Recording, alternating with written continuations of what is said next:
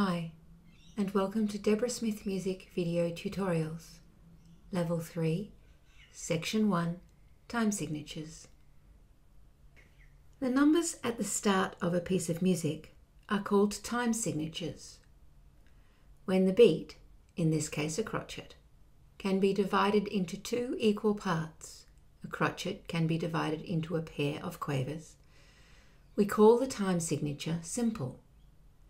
The top number of a time signature in simple time tells us the number of beats per bar, and the bottom number of a time signature in simple time tells us the value of those beats. For example, if the time signature is 2 4, the 2 at the top tells us there are 2 beats per bar.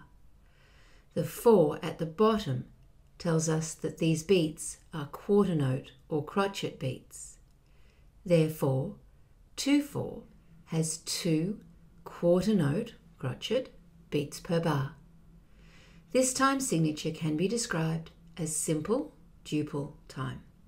Simple because the crotchet can be divided equally into two, and duple meaning two. This time signature can be described as simple quadruple. Simple time because the 4 at the bottom tells us the beat is a quarter note or a crotchet, and crotchets can be divided equally into two quavers. Quadruple because the top note is 4. For more information and resources, visit dsmusic.com.au.